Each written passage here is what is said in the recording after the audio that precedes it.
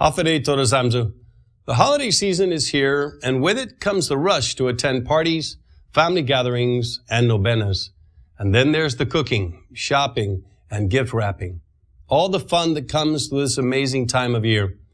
As you go to and from your events, keep safety in mind.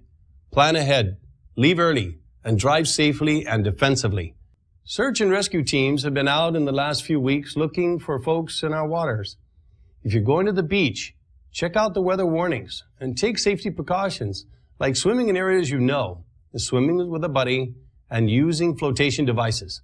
When you go shopping, park in well-lit areas. After shopping, don't put your purchase items back in your car and then go continue shopping again. Thieves look for these basic mistakes to identify their next target. The difference between a festive holiday or being a victim of theft at home could be as simple as double checking your windows and using that deadbolt for that additional layer of security.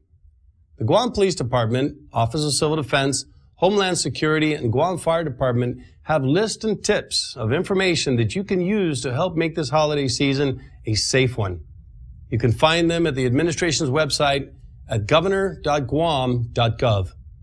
The governor, First Lady, and I also would like to invite everyone to the annual Magaluf Noche Buena Peace Festival at Government House.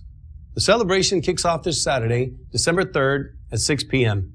There will be music and dancing, photos with Santa, and a walk through special Christmas displays, and of course, beautiful Christmas trees decorated by our great local organizations. I hope to see you there. Merry Christmas to you and your families. God bless us all.